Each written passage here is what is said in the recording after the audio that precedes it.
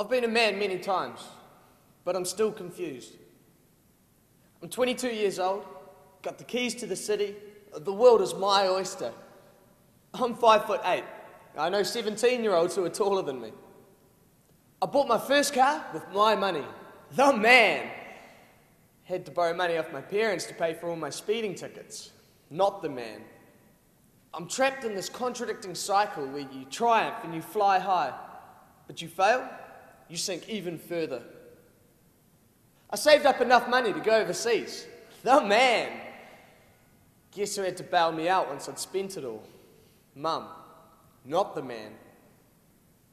And although it was for a purpose, it's like this invisible coat of shame and failure it sits on your shoulders. And it'll sit there weighing you down until you redeem yourself by being the man in another situation. If I look back on my life and count all the times where I was actually a man, not felt like the man or was the man, but had to stop what I was doing, take a deep breath, and tell myself I'd just taken a step into the realm of manhood. Zero. That's my count. Zero.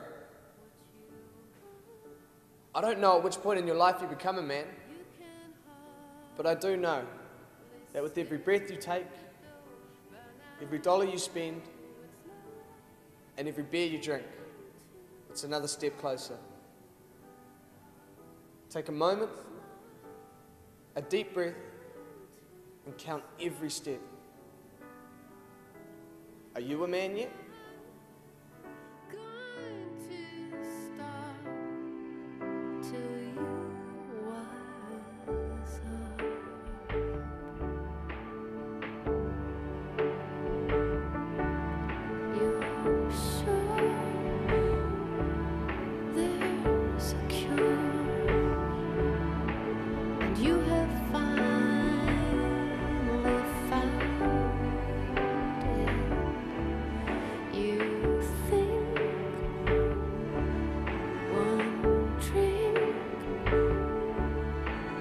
shrink you to your underground and living down, but it's not going to stop.